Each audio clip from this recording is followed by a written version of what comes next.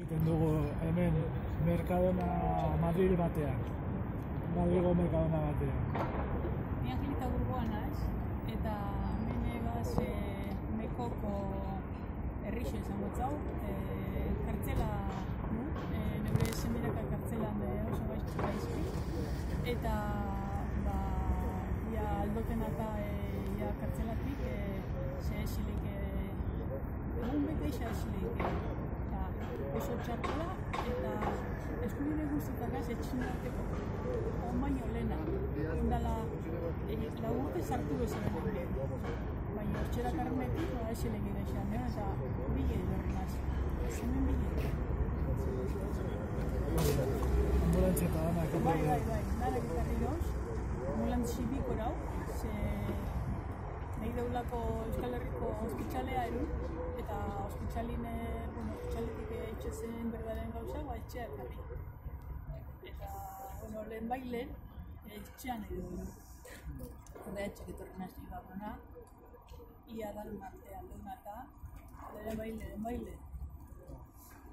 Hori esan duzu, eh? lau, lau urte Bai, eskatzen eramatea bada garaia. bai, bai, bai, bai, bai. Lau urte, bai. Urte terdi entzat situazio barbinik geroa eta bera, geroa eta bera, eta gaur egunen ba oso, oso bajo da bere defensak, eta ez bakarriko di. Buruko burmuinaren dakarren eh, mantxa edo orbana be, eh, zabalduko dauke, eh, gutxi ikusten da, eta lantzimei bizkiku etxinako zontan, eta ez da, kartzela da esilik, ez da, ez da, berak, eh, eskubidirakak eh, itxinauteko. Ze holako egoeran da pertsoni eh, tortura utze da.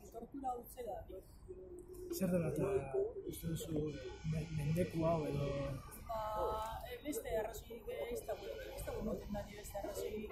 Eh, ze nire bertako kartzelako mediku berak izaztan, eh, nire zene ibon iparra dela, eta horretxik eh, dala han. Eh, beste bat izan bazara nuzko, eh, firmata egonela, eh, Castro, eh, beren eh, urterik, kartzelatik.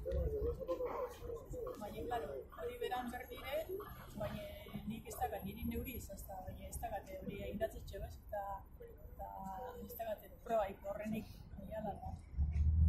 Eta gaur sagrari horrekin etorri zara. Bai,